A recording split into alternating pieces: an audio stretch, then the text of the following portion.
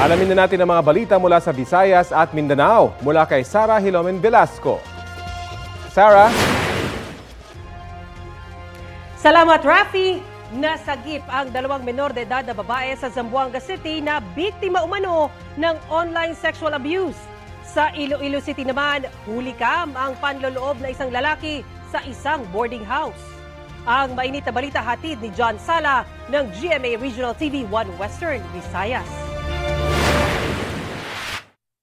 Kita sa CCTV video ang lalaking pumasok sa gate ng isang boarding house sa barangay Villa Anita, Iloilo City. Umakyat sa third floor ang sospek. Nang makitang nakalak ang kwarto, bumaba siya sa ground floor. Sa CCTV sa ground floor, makikita ang lalaki na nag-iikot hanggang makitang bukas ang isang kwarto.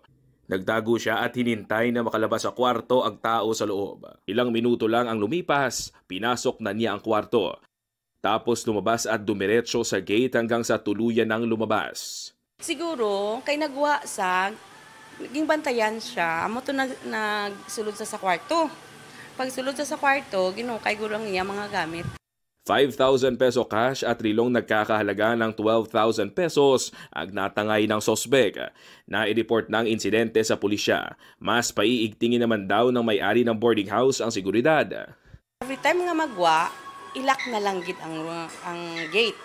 Amo na. Para at least, hindi siya masudlan na kay nakalak na sa mong Iniimbestigahan na ang pagkakakilanlan ng sospek. Sa Iloilo City pa rin, patay na nang matagpuan ng 22 anyos na babae sa loob ng kanilang bahay sa Banduriao. Ayon sa pulisya, nadat na ng kanyang anak ang biktimang kinilalang si alias Kaikai kaya agad humingi ng tulong sa mga kapitbahay. Kwento ng kapatid, ilang araw nang may iniindang paninikip ng dibdib ang biktima. Ayon sa pulisya, wala namang sinyales na may foul play. Pero mabuti raw ipa-autopsy pa rin ang biktima. Sa Zamboanga City, na-rescue ng pulisya ang magpinsang minor de edad na babae. Ang mga biktima na 10 taong gulang, biktima umano ng online sexual abuse. Sa operasyon na aresto ang sospek na tiyuhin ng mga biktima. Ayon sa Women and Children Protection Center Mindanao Field Unit, Mayo pa nila nadiskubre ang modus. Ibinibenta o mano online ang mga hubad na larawan ng mga minor de edad sa mga customer ng mga Pinoy at Banyaga. So hindi talaga aware itong uh, mga bata, lalong-lalo sa parents din and kapamilya nitong suspect dahil uh, siyempre ginagawa niya siguro sa time na sila lang ang tao sa bahay. Isinailalim na sa inquest proceedings ang suspect habang itinurn over sa City Social Welfare and Development ang mga biktima. Walang pahayag ang sospek na nahaharap sa reklamong paglabag sa anti-online sexual abuse and exploitation of children and child sexual abuse or exploitation material at trafficking in persons.